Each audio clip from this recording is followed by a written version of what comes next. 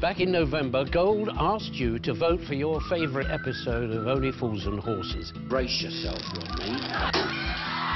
Join me, David Jason, Lovely jubbly. as I reveal the results. Cop a load of this, bruv. From exploding buses to the dynamic duo, It's really good to be back, Del. I'm going to be counting down the top 20. Nice and cool, you know what I mean? And I shall be revealing some of the stories from behind the scenes. Excuse me, sir.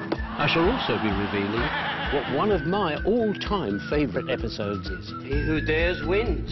Only Fools, the favourites. Every night at 9 on Gold.